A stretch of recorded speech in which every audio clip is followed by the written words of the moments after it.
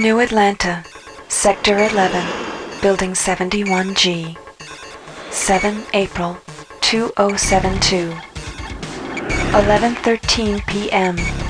Hacker begins unauthorized entry into the Tri-Optimum corporate network.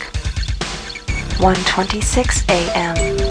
Hacker attempts to access protected files concerning space station Citadel.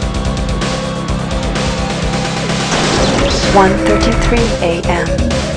Tri-Optimum security forces apprehend the intruder. This is Edward Diego from Tri-Optimum. The charges against you are severe, but they could be dismissed if you perform a service. Who knows, there might even be a military-grade neural interface in it for you, if you do the job right.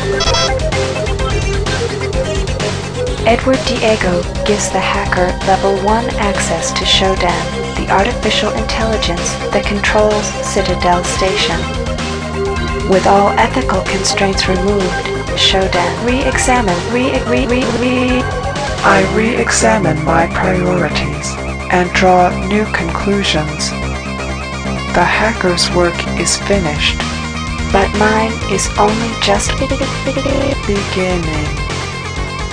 True to his word, Edward Diego allows the hacker to be fitted with a neural cyberspace interface. The healing coma following this procedure will take six months to complete. Edward Diego is deleting all files concerning these events.